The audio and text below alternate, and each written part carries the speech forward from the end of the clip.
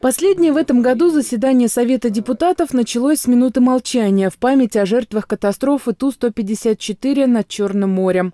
После чего народные избранники приняли повестку дня. Она состояла всего из одного вопроса. Депутатам предлагалось принять бюджет городского поселения в окончательном чтении. Несколько уменьшили резервный фонд, что позволяет, но это не говорит о том, что мы не сможем справиться с какими-то э, катаклизмами, но несколько мы его уменьшили. То есть мы перераспределили финансовые средства, которые, ну, по, по мнению депутатов, были не совсем рационально направлены.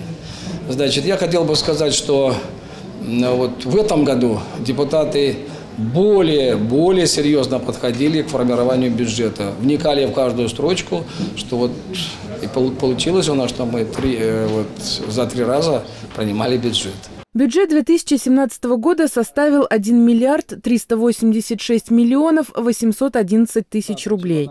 По предложению депутатов добавлены средства на выплаты ветеранам Великой Отечественной войны к Дню Победы. Вместо 3 тысяч рублей каждый из них получит по 10. Увеличены на 24 миллиона 697 тысяч рублей и расходы на безопасность. Оборудование отдельных районов города, в частности Павшинская пойма, камеры, камерами видеонаблюдения. Расходы 2017 года увеличены на миллион сто семьдесят пять тысяч рублей для предоставления субсидий управляющим компаниям на содержание дворовых площадок. После утверждения бюджета на заседании представили новых почетных граждан городского поселения. Ими стали Виктор Кругликов, первый глава Красногорска, Владимир Булатов, заместитель председателя правления предприятия Копторг МСПК.